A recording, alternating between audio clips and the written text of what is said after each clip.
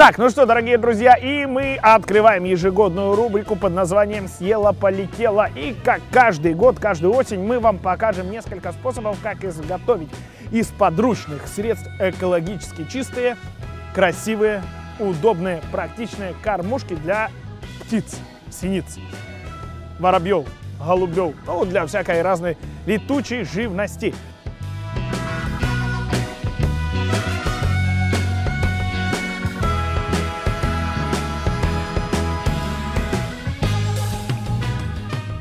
Самая первая кормушка будет э, изготовлена из максимально легкого подручного средства. Я думаю, каждый из вас э, покупает в магазинах яйца. Ну, в общем, все, что нам для э, первой кормушки потребуется, это вот такая вот, э, я даже не знаю, это коробочка для яиц. Делим все очень просто. Выбирайте максимальные размеры, которые к вам подходят, чтобы изготовить из нее пропорциональную кормушку.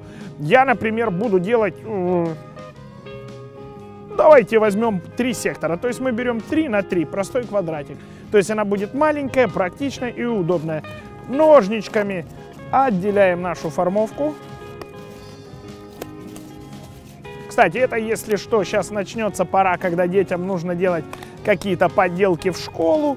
То есть по факту можно, э, если вы обладаете харизмой, шармом и интернетом, можно сделать вот такие вот кормушки и легко избавить себя от мучений, точнее, э, ночных э, времяпрепровождений при изготовлении разных всяких деталей.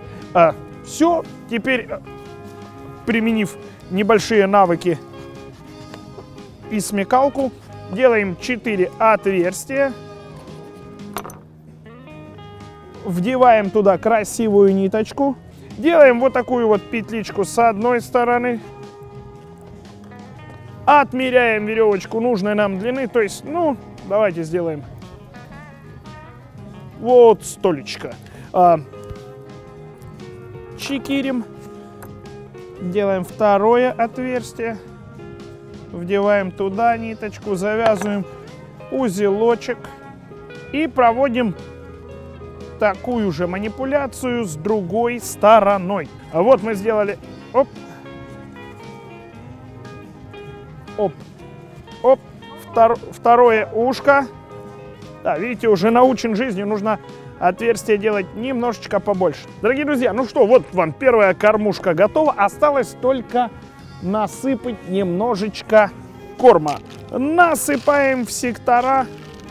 И все, вот такая вот кормушечка может украсить ваш подоконничек. Тем более, если на подоконник можно просто вырезать формочку и оставить ее там. Следующую кормушечку э, немножечко дольше понадобится по времени, немножечко трудозатратнее, немножечко и ресурсов надо, понадобится побольше. В общем, для изготовления этой этой кормушки уже используется готовая лоза, то есть просто идете во двор к бабушке, к дедушке на дачу, да и просто где-то на улице находите сухую э, лозу с-под винограда, сворачиваете в любой для вас удобный обруч. Можно использовать, я думаю, и какие-то другие породы деревьев. Самое главное, чтобы его можно было скрутить вот такой вот кружочек. Закрепляем с помощью проволочки, либо шнурочков по краям, чтобы она не распустилась.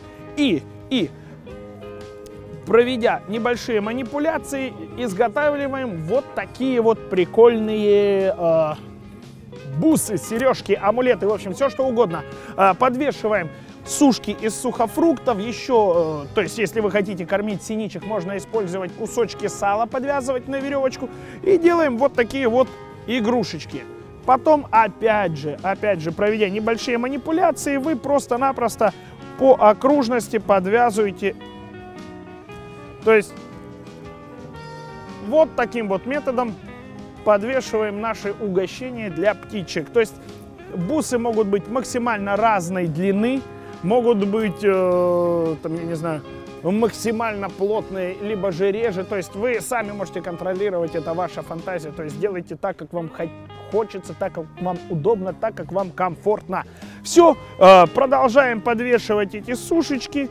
Ну и, конечно же, радоваться, наслаждаться.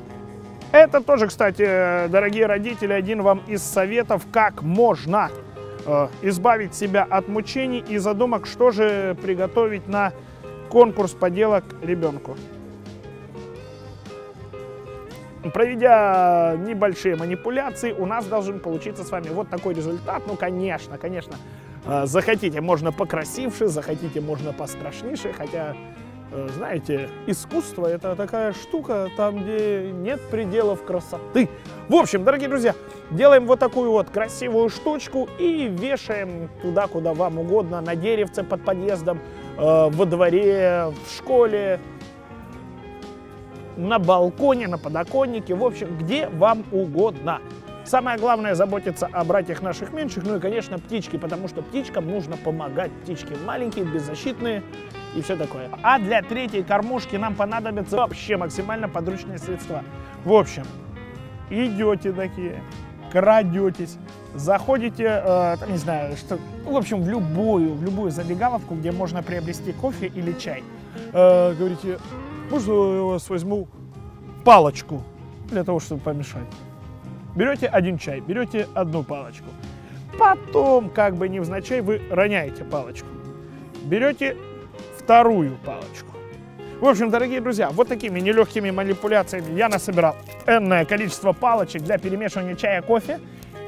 И, и с помощью их сейчас начинается максимальная развлекалово, потому что каждый из нас хотел быть строителем. Каждый из нас, э, создавая из спичечных, э, спичек просто домик и клей, его клеем ПВА говорил, да ё-моё, я же архитектор. Не Бикетов, конечно, но архитектор. Начинаем выкладывать а, соломинки в форме домика. Выкладываем платформу приблизительно, которая будет равна длине одной палочки. Вот таким вот образом мы это все выравниваем. Это будет э, являться основой нашей с вами конструкции. Потом применяем уже разогретый клей-пистолет и проходимся немножечко по точечкам.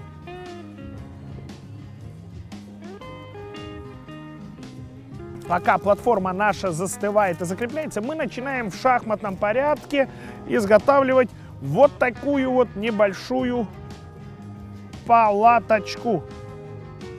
Естественно, то, точнее не палаточку, а колодец. И, конечно же, каждую деревяшечку мы тоже впоследствии проклеим. Если нету дома клея, либо клея пистолета, можно использовать простые шнурочки и, конечно же, э, клеить шнурочком.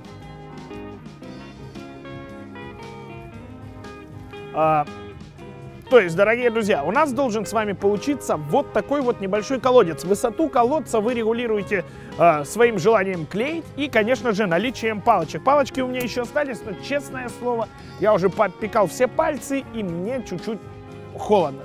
Очень холодно на улице, я не знаю, как птички будут есть, но, в общем, э, все зависит от вашего времени, от вашего желания, ну и, конечно же, от того, сколько вы э, чаев выпили. Опять же, используем простую веревочку, можно шнурки с папиных кроссовок дорогих, которые он купил. Там можно мамину цепочку взять. Она не раскроется, ведь это все ради птичек.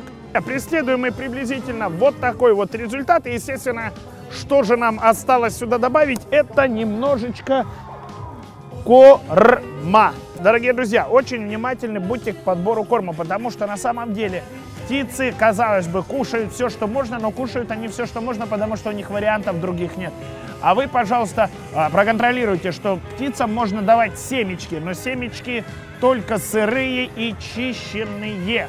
Помимо этого, хлеб можно давать только черный и сухой, который не вызывает брожения. Не жареный, не пареный, не вареный, никакой и крупы. Крупы, если вы насыпаете, будьте внимательны, что птицам можно давать только те крупы, которые не разбухают, то есть не набирают воду.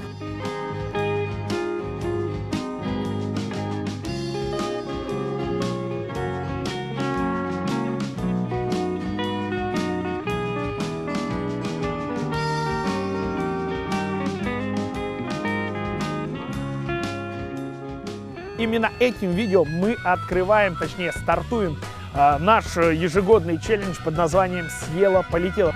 Делайте кормушки, э, фотографируйте их присылайте нам. Ссылочка будет внизу под описанием. И я напоминаю, что это уже всеукраинская акция под названием «Села, полетела 2018». Или, как говорят по-модному, 2К18.